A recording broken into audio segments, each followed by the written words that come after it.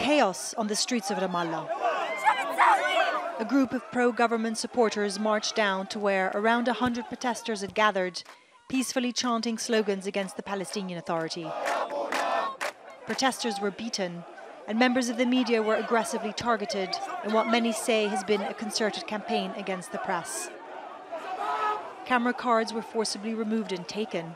A colleague had his camera smashed. We were surrounded by thugs who forced us to bring down the satellite antenna on our broadcasting truck. They are security members, you know, but with the civil clothes.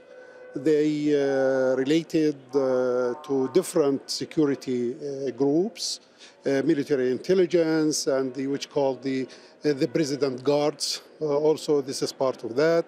Most of them, you know, they are not civilians; they are security members.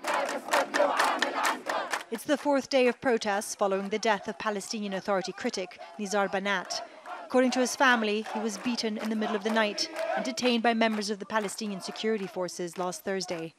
Anger at the government here is rising. 84% of the Palestinian people say in polls that the Palestinian Authority is corrupt. So that's the first issue. The second issue is that the PA has become an authoritarian regime. They are arresting activists, they are beating people in the streets. And last but not least, the Palestinian people want to struggle for freedom, want to struggle for justice. The settlements are expanding.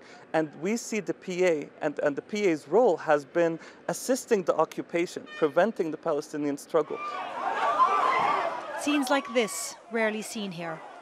A large number of security forces were stationed not far from this and did nothing.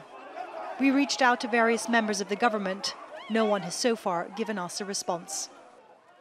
The level of intimidation over the media over the last couple of days has been immense. Female journalists have been beaten with sticks. We were severely intimidated not to film, to bring down our live capabilities, and they continued to watch us to the point where we couldn't even take out our mobile phones. And all this prompted by a protest of only around 100 or so people. Stefanie Dekker, Al Jazeera Ramallah, in the occupied West Bank.